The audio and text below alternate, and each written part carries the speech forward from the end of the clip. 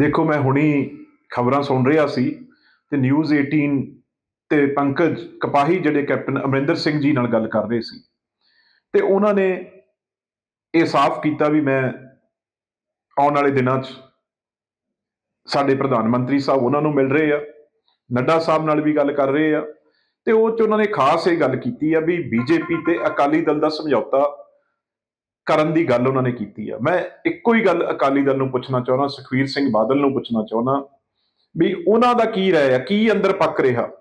ਕਿਉਂਕਿ ਜਿਹੜਾ ਬੀਜੇਪੀ ਨੂੰ ਉਹਨਾਂ ਨੇ ਛੱਡਿਆ ਸੀ, ਸਮਝੌਤਾ ਤੋੜਿਆ ਸੀ, ਤਾਂ ਉਹ ਕਿਸਾਨ ਐਜੀਟੇਸ਼ਨ ਵੇਲੇ ਤੋੜਿਆ ਸੀ, ਜਦੋਂ ਤਿੰਨ ਬਿੱਲ ਆ ਗਏ ਸੀ।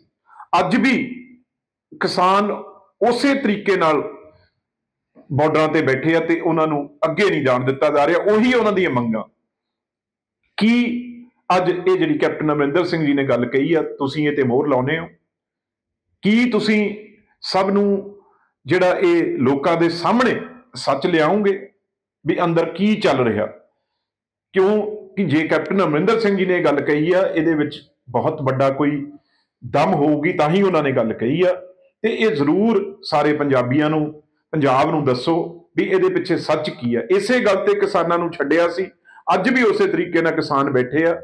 ਕੀ ਤੁਸੀਂ ਸਮਝੌਤਾ ਕਰਨ ਜਾ ਰਹੇ ਆ? ਅਕਾਲੀ ਦਲ ਸਪਸ਼ਟ ਕੈਪਟਨ ਅਮਰਿੰਦਰ ਸਿੰਘ ਜੀ ਦੀ ਗੱਲ ਕਰੇ।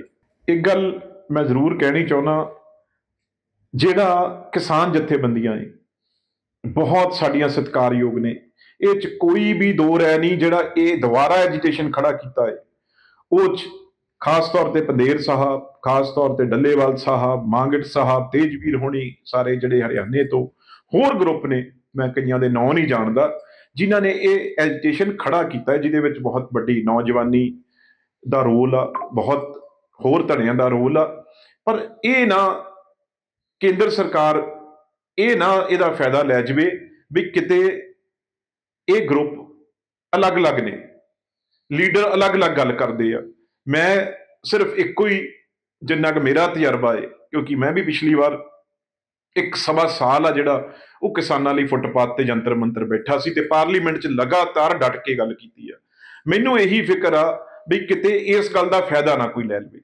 ਇਹ ਹੁਣ ਤੁਸੀਂ ਬਹੁਤ ਸਿਆਣੇ ਹੋ, ਕਿਵੇਂ ਸਾਰੇ ਲੀਡਰਾਂ ਨੇ ਕਿਸ ਤਰੀਕੇ ਨਾਲ ਇਕੱਠੇ ਹੋਣਾ? ਬਾਕੀ ਲੋਕਾਂ ਨੂੰ ਸਭ ਪਤਾ ਹੁੰਦਾ ਵੀ ਕੌਣ ਕੀ ਲੜਾਈ ਲੜ ਰਿਹਾ। ਉਸ ਵੇਲੇ ਵੀ ਉਹਨਾਂ ਦਾ ਵੀ ਪਤਾ ਸੀ ਵੀ ਜਿਨ੍ਹਾਂ ਨੇ ਆ ਕੇ ਇਲੈਕਸ਼ਨਾਂ ਲੜੀਆਂ, ਲੜਨੀਆਂ ਸੀ।